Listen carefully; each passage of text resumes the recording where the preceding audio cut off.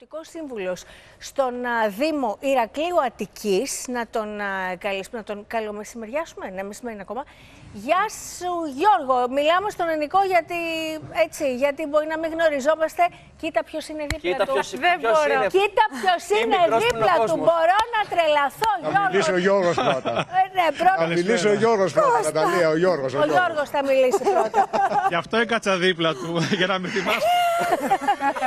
Λοιπόν, α, σας καλησπερίζουμε, σας, ε, σας συγχαίρουμε για την πρωτοβουλία σας ε, καταρχάς, έτσι, για αυτό που κάνετε σήμερα.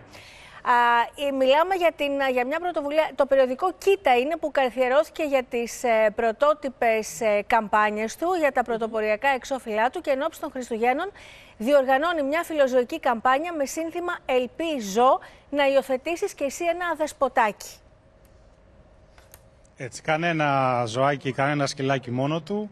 Είναι πολύ σημαντικό αυτή την ιδέα να την προωθήσουμε και ευχαριστούμε πάρα πολύ που μας βοηθάτε. Είναι σήμερα το Σωματείο, ο Σύλλογος Αδέσποτα, ξεχασμένα αδέσποτα. Έχουμε μερι, μερικούς ε, εδώ πέρα φίλους μας. Να τους συστήσω. Είναι, Βεβαίως. είναι ο Μάης. Φέραμε, φέραμε το Μάη το Δεκέμβρη. Βεβαίως. Είναι ο Ντέξτερ, είναι η Ούνα, Α, ψυχούλες μου. η Άμπη. Ναι. και όλοι, μα- και όλοι οι φίλοι μας. Είναι η Λάκη εδώ στην κυρία Αλκαίου, η Ήρμα.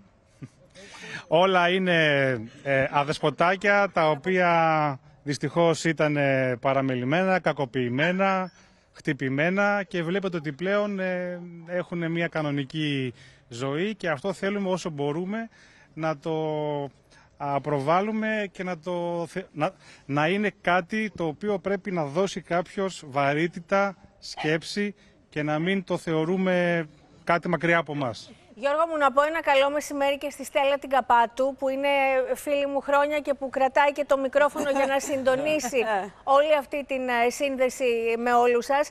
Α, και να περάσω στον Κώστα τον ε, Τσουρό γιατί Κώστα να σε καλωσορίσουμε στο καλύτερα δεν γίνεται. Κώστα. Να με καλωσορίσετε στο καλύτερα δεν γίνεται, στο παλιό μας σπίτι, Ναταλία. Χαίρομαι πάρα πολύ που σας ακούω. Δεν σας βλέπω, αλλά χαίρομαι πολύ που σας ακούω. Και θα μου πεις...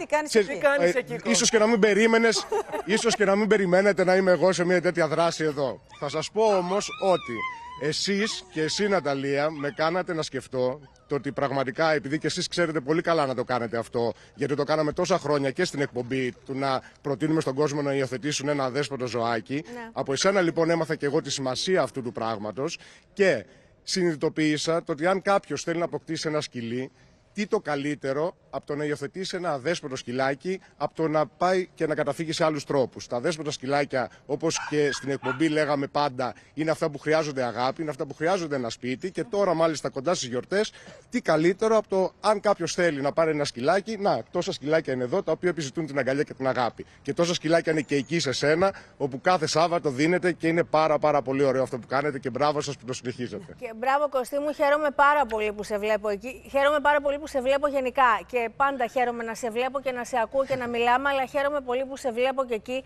Δίπλα στον Κώστα είδα το Σπύρο Μπιμπίλα.